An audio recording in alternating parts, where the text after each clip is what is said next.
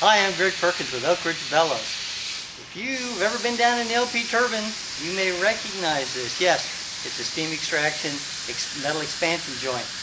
And we're going to talk about how to inspect these things and some recommendations on, on when you replace those, what you should do.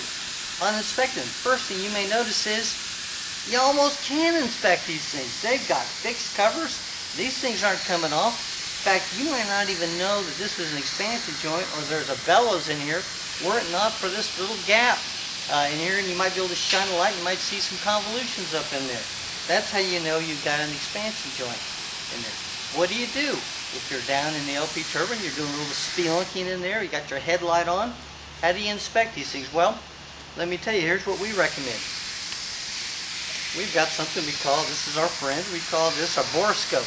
Yeah, you know a borescope, you've got one. I'm sure uh, all power plants got somebody in the inspection group that's got a borescope. If you want one with an articulating head on it, you can go in here and you can go right through that gap that's in there and you can you can kind of work your way around. You can inspect the bellows. You can see that you got any if you got any cracks in there.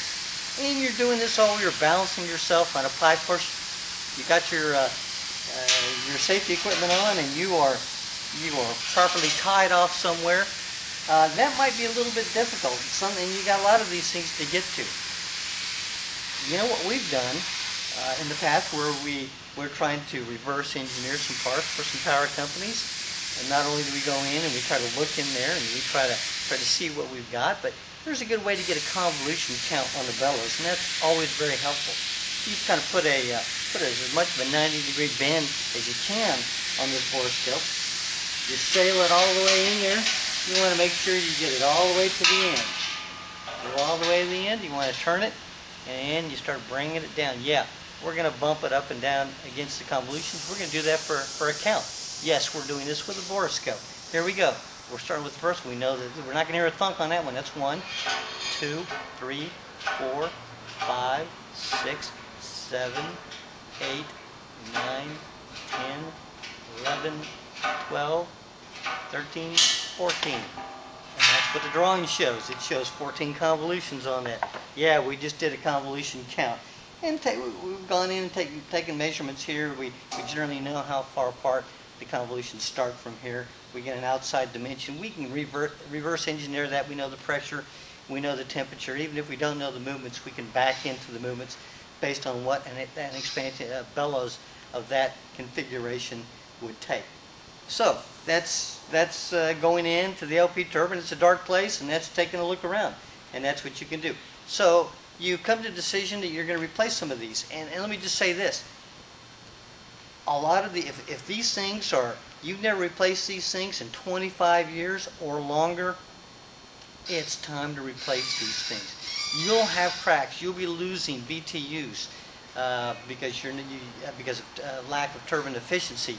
If you're lose, if you've got leaks in these things, and uh, and if you've got an outage that's coming up, and you're pulling the hood, and you know it's probably going to be a while before you get that hood pulled again and these things are 25 years old it's time to replace them hey they've had a good run uh, or uh, you may have uh, you may have a modified hatch you know you see these dinky hatches you can barely fit through those things and some of those uh, uh, some of those LP turbine hoods they'll have modified hatches and you can actually uh, put a single expansion joint work its way through there if you got one of those good for you you had a little bit of forethought on that Okay, so you come to the decision to replace some of these or all of these expansion joints. What do you want to do?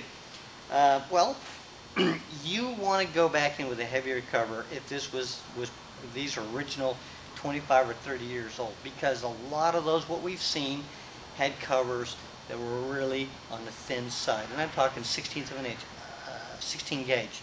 We've seen missing covers when we get down in the LP turbine. We've seen cracks all over these things. Minimum an eighth of an inch thick. 3 16ths quarter inch, if you can do, uh, uh, is, is not bad at all. And, and inside, a liner on the inside, heavy covers on the outside. That's going to protect that bellows from, from resonating against that high flow. And that's the, uh, the only catastrophic type of failure, one of the few catastrophic failures on a bellows. You get sometimes uh, people tell me they get down in those LP turbines and there's a mess in there because the cover got dislodged it wasn't thick enough, and short order that bellows will, will succumb to that high flow and vibrate, and just vibrate itself to death. So you want to go back in with heavy covers on this. Now, these original ones, they were all they were all stainless steel. A lot of people will say, "Hey, I want to upgrade to Inconel 625." You know what? Inconel 625 is a great material. If you want to do that and pay the extra money, go ahead. I, I, I would I would encourage you to do that. If you want to be able to go in here and test a bellows to know that you've got some sound integrity, then you might want to go with the two-ply testable bellows, and we've got we'll, we'll put an external port here. So you, when you're inside there, you just hook up to that port, put a little pressure in there, read a gauge. Yeah, you're holding pressure, and uh, well, I'll have more to say uh, in some of the articles on, on testing two-ply uh, testable, and also some of the videos. So you want to look those up to make sure you don't go too high in the pressure. But that's another way of checking those. You may say to yourself, hey, I've, I've got stainless steel bellows. They gave me a good run for 25 or more years. And I want to go back in with exactly what I had before. You know what? It's hard to fault that logic.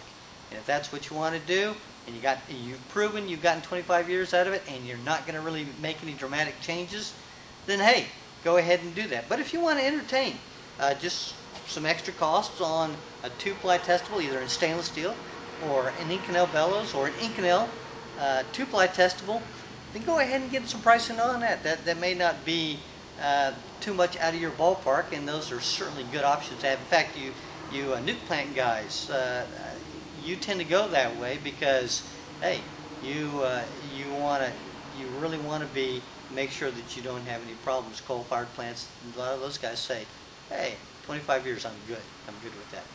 Anyway, those are that's what you need to know about steam extraction expansion joints. If you want to know more about metal expansion joints, join us at www.oakridgebellows.com.